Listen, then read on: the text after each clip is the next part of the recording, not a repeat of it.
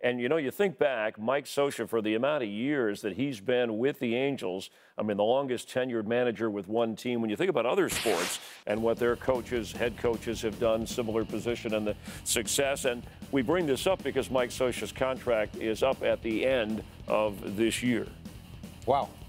You know, to sit there with Bill Belichick, and I, I had no idea he had been there that long 19 years, uh, a 10 year contract. I think he said history of that contract as a major league manager.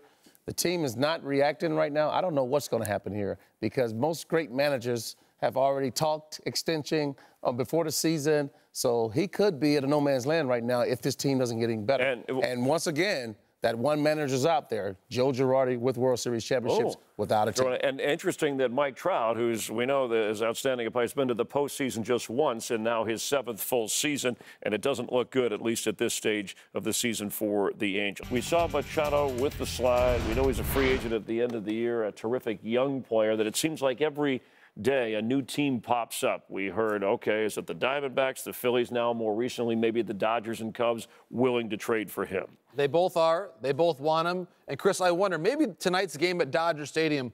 Winner gets Manny. What do you think? They just compete right there at Dodger Stadium. The winner gets to trade for Manny. The Cubs Machado. seem loaded in that area. The Dodgers have Turner if he's healthy. Well, yes, and but with the Cubs, Kris Bryant now has been out at least for a period of time. Yeah, you could play Manning at short. Uh, oh, maybe Addison okay. Russell becomes a part of that trade. That's right. And he could play Baez short still. to help uh, Seager Precisely. out for the Dodgers. Exactly. So, and, and then again, when you think about these two teams, I love this, Frank, because we're seeing rivalries build. We love rivalries in our game. They give our game texture.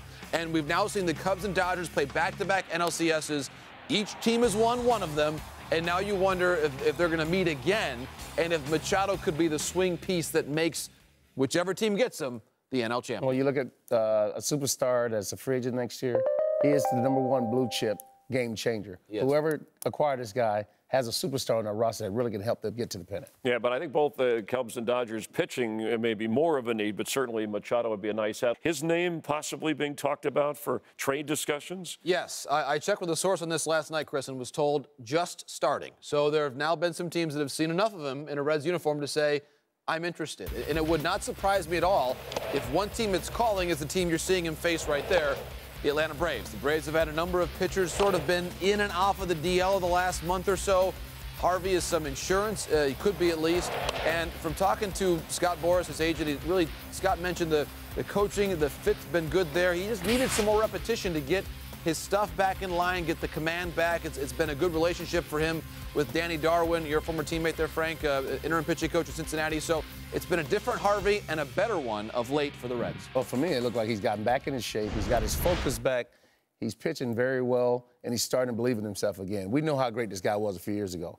And, you know, he had some problems off the field. He's picking it back up now. I'm happy for him because it was really tough for him to leave New York, and everyone thought he was out of baseball or in AAA. He's back competing very well at the big league level. And wherever he's traded, you don't think he should be traded to New York? No, even, don't even go back. to the other New no, York team.